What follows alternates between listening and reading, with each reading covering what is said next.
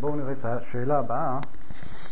אה, נתנו לנו משולש ABC, ואנחנו צריכים להוכיח אה, משפט אה, שאומר, אם במשולש כלשהו, התיכון, התיכון שווה למחצית הצלע אותה, כן, אותה הוא חותך, אז המשולש יישר זווית. מה הם שואלים? מה המשפט הזה בעצם אומר לי? נתנו לנו משולש כלשהו, יש לנו תיכון DC, מה תיכון עושה? חוצה את הצלע, כן? חוצה את הצלע מולו. אז בעצם BD שווה ל-AD, כי DC תיכון.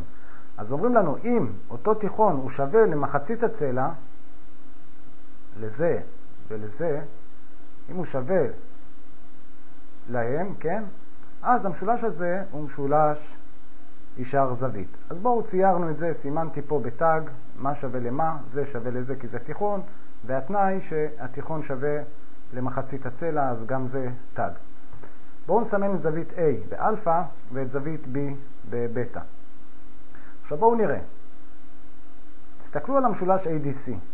עצם זה שסימנתי פה תג תג, אז קל לראות שזה משולש שווה שוקיים. כן? AD שווה ל-DC. זוויות בסיס במשולש ושוקיים שוות ביניהן.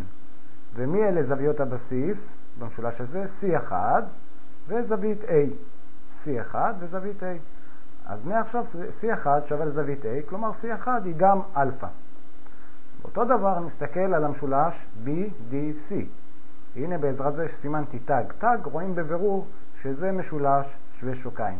אם זה משולש שווה שוקיים, אז גם אצלו זוויות הבסיס שוות. מי הם זוויות הבסיס שלו? C2 וזווית B. אז זווית C2 היא שווה לזווית B, כלומר שווה בטא. בואו נעשה סך הכל, יש לנו פה זווית C1 היא אלפא, זווית C2 היא בטא. מה אני עושה עם הדבר הזה? עכשיו אני אעשה סכום זוויות במשולש ABC. סכום זוויות במשולש ABC. כמה זה סכום זוויות במשולש? 180.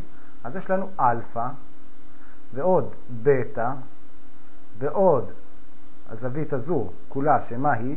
בטא ואלפא. אז אלפא ועוד בטא ועוד בטא ועוד אלפא שווה 180 מעלות. אלפא ועוד בטא ועוד אלפא ועוד אלפא זה שני אלפא ועוד שני בטא 180 נחלק בשתיים וקיבלנו שאלפא ועוד בטא זה 90. כמו שהראינו זווית C היא אלפא ועוד בטא. אז אלפא ועוד בטא זה 90, זווית C 90. טוב, זה הפתרון לשאלה הזו. זה בעצם גם משפט שמעכשיו בשאלות אחרות אתם יכולים להשתמש בו כמשפט שריר וקיים בלי צורך להוכיח אותו, כן? אם יש לכם נתון כלשהו ואתם רוצים להשתמש במשפט הזה, זה משפט אה, שעומד בפני עצמו, אפשר להשתמש בו בלי להוכיח אותו יותר. אה, זה הכל. אתם מוזמנים להשאיר לי שאלות בתגובות למטה, לכתוב לי שם של ספר, מספר עמוד, מספר שאלה, ואני אשמח אה, לענות. כמו כן, מי שצופה בסרטון והוא לא באתר שלי, מוזמן להיכנס לאחד מהאתרים האלה, להשאיר שאלות ולצפות בפתרונות, ואני אשמח אם אה, תשתפו את החברים שלכם באתר הזה, תעשו לייק או בכל דרך שהיא, אני אודה לכם. אז להתראות וכל טוב. ביי.